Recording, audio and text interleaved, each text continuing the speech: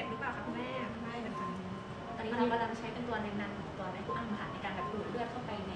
ในขวดในผู้อ้ำนะคะจะผสมเลือดกับเนเทรียมเป็นตัวการเลือดแข็งตัวสเปรย์น้อย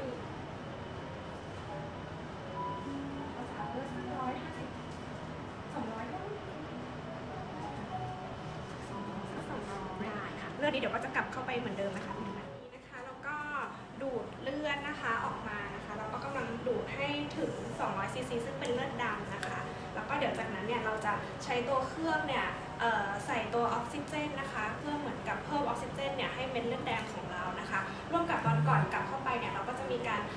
ฉายตัว UVC เพื่อฆ่าเชื้อเลือดด้วยนะคะ ตัวนี้เนี่ยมันก็จะทำให้เราเนี่ยรู้สึกสดชื่นขึ้นนะคะ สร้างเสริมภูมิคุ้มกันให้ดีขึ้นนอนหลับดีขึ้นกระปี้กระเป๋ามากขึ้นนะคะหลังทำเนี่ยคนไข้ก็จะรู้สึกได้ทันทีเลยว่าสดชื่นกระปี้กระเป๋า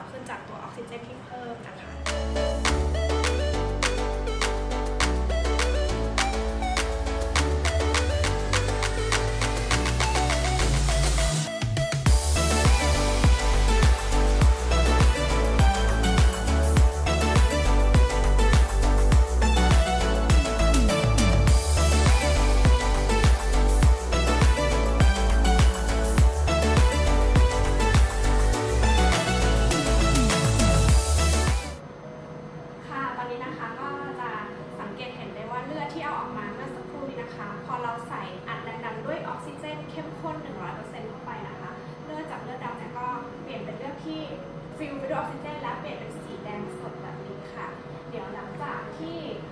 เลือดสีแดงได้ที่แล้วออกซิเจนเต็มทั้งหมดนี้แล้วนะคะเราก็จะใส่ตัวเลือดเนี้ยกลับคืนเข้าสู่ตัวคนไข้ค่ะ คนไข้ก็จะรู้สึกได้ทันทีเลยว่ารู้สึกสดชื่นขึ้นมากๆนะคะ แล้วก็กระปี้กระเป๋านอนหลับ